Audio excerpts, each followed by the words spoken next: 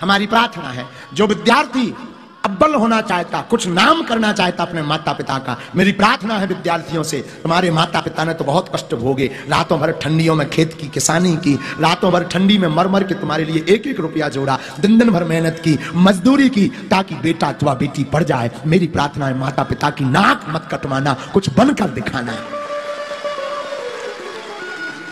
उनकी मेहनत पर पानी मत फेरना। अब वो बेटा और बेटी किसी काम के नहीं, जो माता पिता को दुख दे। बेटा बेटी तो वही है, जो माता पिता का नाम रोशन करें। दूसरी प्रार्थना सुनो। दूसरी बात हमारी है। पिता के नाम से तो अनेक पुत्रों को जाना जाता है। फलाने का बेटा है, अमुक मंत्री का बेटा है, अमुक विधायक का बेटा है, अमुक नेता का बेटा है, अमुक अधिकारी का बेटा है, अमुक दुकानदार का बेटा है। पिता के नाम से तो सब बेटों को जाना जाता। पर बेटा वही है, जो पिता वही है, जो बेटा अथवा बेटी के नाम से पिता को पहचान मिले। तब तो तुम हो। लोग कहेंगे, ये फलाने के पिताजी जा रहे हाँ। बेटा तब हो।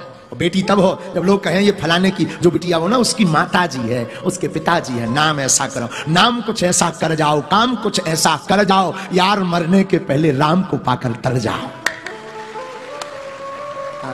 और हमें मस्त राम का एक दोहा बड़ा याद आता है। मस्त राम मुर्दों से बोले, हमको कुछ सिखलाओगे? मुर्दों में से एक मुर्दा बोला, मर जाओ सो पाओगे।